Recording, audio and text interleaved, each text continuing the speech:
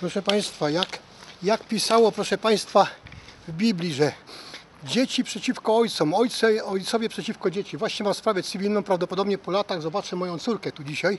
Powinna być też żona z Ukrainy, dzieci z Francji, ale nie będzie. Także lajkujcie, subskrybujcie mój kanał. Zapraszam na YouTube Janusz Pijanka. Proszę o subskrypcję. Też walkę o takiego dzidziusia prowadziłem. Także już jestem spóźniony, bo 11.40. Ja dzisiaj w pracy nie byłem, bo od rana dokumenty szukam. Hoka, hej, subskrybujcie. Trochę się może dowiecie, co się tu działo.